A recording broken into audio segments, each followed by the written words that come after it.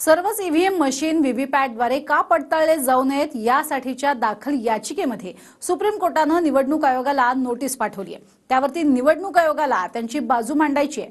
मात्र व्हीव्हीपॅट काय आहे? याचिकेनुसार जर निर्णय झाला तर ईव्हीएम वरच्या शंका दूर होतील का? पाहूयात.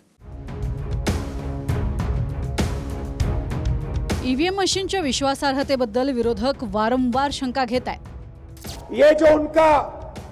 400 सीट का नारा है। ये बिना ईव्हीएम के ये 180 पार नहीं होने जा रहा है। त्यात आता ईव्हीएम आणि व्हीव्हीपॅटच्या पावत्यांबद्दल सुप्रीम कोर्टानं निवडणूक आयोगाला नोटीस बजावली आहे. सामाजिक कार्यकर्ते अरुणकुमार अग्रवाल आणि असोसिएशन फॉर डेमोक्रेटिक रिफॉर्म्स यांनी व्हीव्हीपॅटच्या सर्व पावत्यांची पडताळणी व्हावी यासाठी एक याचिका केली आहे. व्हीव्हीपॅट म्हणजे काय? कोर्टानं काय म्हटलं? त्याआधी पार्श्वभूमी समजून घेऊया.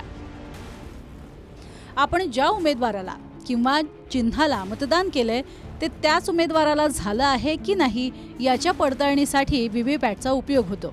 उदाहरणार्थ हे ई व्ही एम मशीन आहे आणि त्या मशीनला जे यंत्र जोडलेलं असतं त्याला व्ही वी पॅट म्हणतात. समजा तुम्ही भोरा चिन्ह असलेल्या व्यक्तीला मतदान केलं ते मतदान त्याच व्यक्तीला गेलं आहे की नाही? यासाठी मतदानाच्या पाच सेकंदानंतर पॅट मशीनवर एक पावती जनरेट होते. त्यात आपण ते बटन दाबलं त्यालाच ते गेलंय याची खातरजमा केली जाते. नंतर हीच पावती एका सीलबंद पेटीत जमा होते. नंतर मतमोजणीवेळी ईव्हीएम योग्य आहे यासाठी एका लोकसभा मतदारसंघातल्या पाच ईव्हीएम मशीनची मतं आणि व्हीव्हीपॅटनं जनरेट केलेल्या पावत्यांची पडताळणी केली जाते. मात्र ही पडताळणी सध्या एका लोकसभा मतदारसंघातल्या प्रत्येक विधानसभेत पाच ईव्हीएम मशीनचीच केली जाते.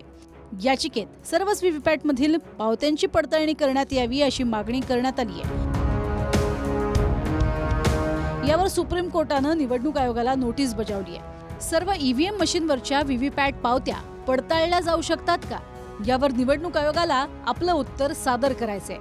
त्यामुळे या पुढच्या सुनावणीत काय होतं हे पाहणं महत्वाचं असेल. Bureau report TV nine Marathi.